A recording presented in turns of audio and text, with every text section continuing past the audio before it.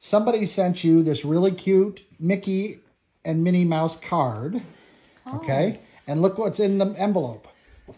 Mickey's It's a Christmas, book. Carol. I'll be darned. Mickey's Christmas Carol. Look at that.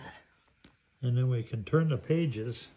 Let me turn the page. Yeah, Look at that. look at that.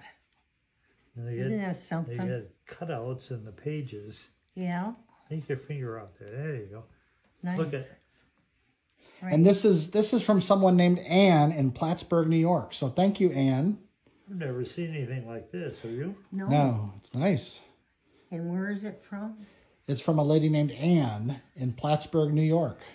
Oh, we stayed in Plattsburgh. And the big airplane scared us at night. Do you remember that? Yes. That's nice. You guys can look at the though. Christmas book. Thank you, Ann. Very nice. Thank you. Mm-hmm. She'll enjoy this.